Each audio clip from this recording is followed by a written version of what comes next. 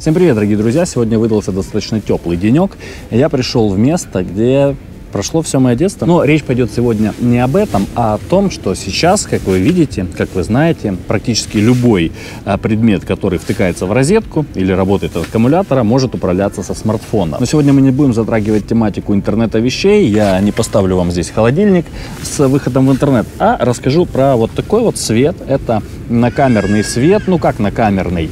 Он может быть в том числе и накамерный. Вообще это достаточно универсальная история. Вы его можете крепить на свою камеру, на свой квадрокоптер квадрокоптер. Вы можете, благодаря тому, что у него внутри находится магнит, открыть капот от автомобиля, прикрепить его, возиться там в своем гараже, закрепить себе на лоб. В общем, это универсальный светильник, очень яркий, очень мощный, и при этом он управляется со смартфона. И вообще изначально я хотел сделать обзор этого светильника прямо в прямом эфире, но потом подумал, что прямой эфир может затянуться, потому что я просто не знаю, заряжен ли здесь аккумулятор. И ждать 20 минут просто как заряжается батарейка было бы непростительной тратой вашего времени. Поэтому сегодня я сделаю такой полулайф обзор, что называется. Я не открывал его, не знаю, что у него внутри, поэтому сейчас все будет происходить на ваших глазах. Ну, во-первых, поставляется он вот такой вот коробке, и издалека вы можете подумать, что это, наверное, какая-то новая GoPro Session. Инструкция по эксплуатации, зарядка, обратите внимание, зарядка с одной стороны USB, с другой стороны вот такой, э, это правильно называется, по-моему, проприетарный разъем. Вот этот вот штыречек утапливается, и, насколько я понимаю, он еще а, оснащен магнитом, то есть как на старых MacBook'ах, MagSafe, что-то подобное. Вот это, я так понимаю, насадка для установки светофильтров. Светофильтры я уже вижу. И здесь их реально очень много. Это может пригодиться, например, при съемке каких-то клипов, когда нужно, допустим, подсветить заднички или какой-то элемент каким-то, допустим, синим светом а, с э, холодной температурой, чтобы выделить объекты на переднем плане. То есть его можно использовать, как я уже вижу, и для таких более-менее профессиональных съемок. Ну что, вот он наш светильничек. Давайте проверим, заряжен ли аккумулятор. Нет, друзья, аккумулятор разряжен полностью. Мне придется подключить Powerbank.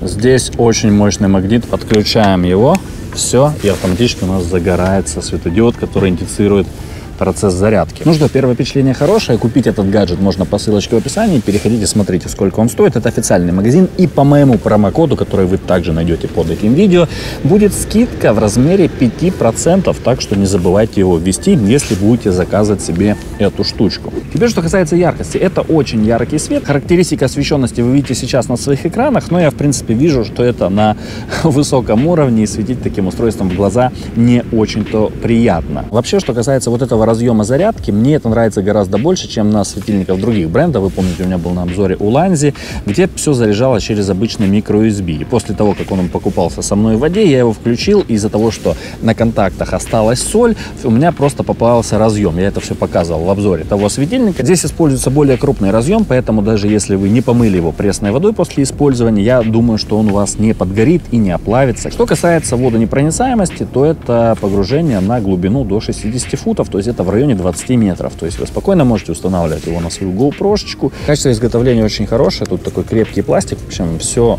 ощущается очень надежным, устойчивым. Причем устойчивым не только к агрессивной э, окружающей среде, но, судя по всему, и устойчивой к падению. Но проверять, конечно же, я это не буду. Вот посмотрите, как светит фонарь уличного освещения.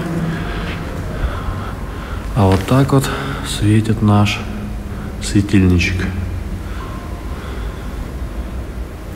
И, кстати, у этого светильника есть функция защиты от перегрева. Почему-то с китайского этот пункт меню не перевели, но если вы его выключаете, он дает о себе знать уже на английском языке.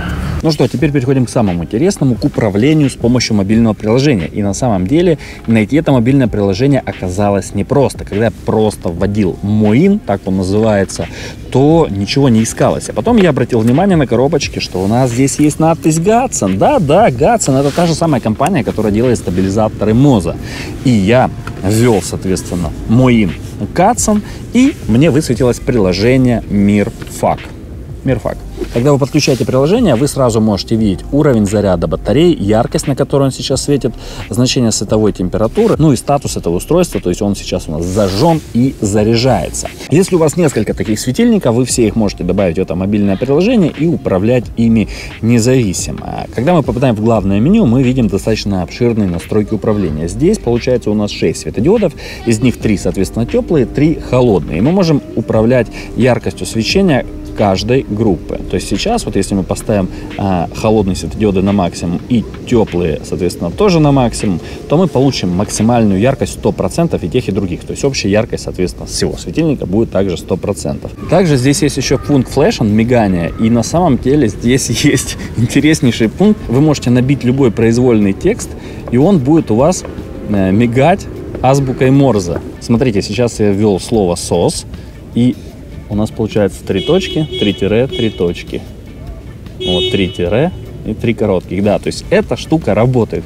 То есть если вы где-то потерялись, если человек, который вас ищет, знаком с азбукой Морза, он сможет прочитать ваше послание. И, ребята, обратите внимание, никакого шифрования, да, никакого сквозного шифрования нет, но, тем не менее, далеко не каждый сможет рассекретить вашу переписку, потому что просто не знает азбуку Морзе. Пора возвращаться к старым способам переписки. Можно э, на бумаге молоком писать. Я думаю, все к этому и идет. Но если морозянка вам не нужна, то вы можете переключиться на верхний блок, где у нас задается время свечения, время простое. И вот сейчас вот мы можем сделать такой прям стробоскоп. Вот. И, кстати, что интересно, я слышу звук, а, тут какой-то, не знаю, ну, реле здесь вряд ли установлено, хотя, может быть, я прям слышу механический звук а, вот этих вот миганий. Вот послушайте. Кстати, если вы снимаете малобюджетное кино, и вы не можете, к примеру, подогнать полицейскую машину или машину скорой помощи, то вы можете использовать вот такой вот светильничек для того, чтобы, э, закрепив его за вашим окном, создавать вот такой вот антураж мигалки. Для этого достаточно выставить одну десятую на свечение, одну десятую секунды на, соответственно, затухание. И вот так вот это выглядит просто. Установили светильничек.